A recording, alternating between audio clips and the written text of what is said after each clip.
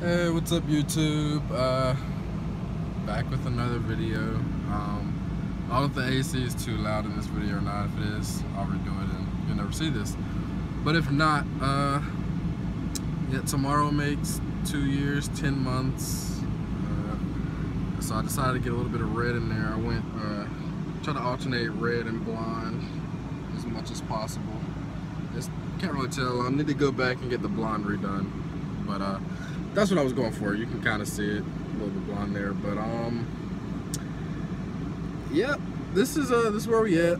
Uh, been real busy lately, all over the place. Um, just hadn't really had time to sit down and record a video, unless actually get a good looking retwist in to film for you guys, you know. So I can do that whenever I get home. I go home like once a month. It'll probably be about three months before I go home again, but uh, yeah, that's where we're at right now. Um, as always, I'm always on YouTube. Uh, if anybody comments or anything, you know, I'm right there ready to reply. I get the notification straight to my phone, so I'm always there if anybody has questions. Uh, try and get a three, 360 for you guys. It's gotten pretty long. I'd say almost three years. Did not think I would make it this long. You can barely tell I got a fresh retwist, but um, here's the right side. Continue to the back. Hopefully you can see that. Then the left. And all the way to the other side of the back.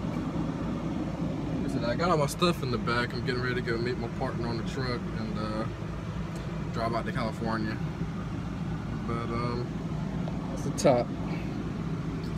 But yeah, that's where we're at right now. Like I said, I'm gonna get some more blonde in there. I hadn't really seen anybody with this pattern. I've seen like the blonde and then red on one dread, but not alternating. I mean, it could be out there, of course. I'm not saying I'm the first. I just haven't seen it.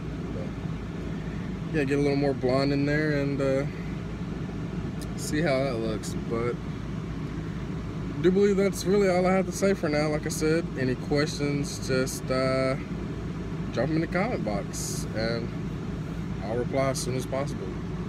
Probably very soon, but until then, I'm out.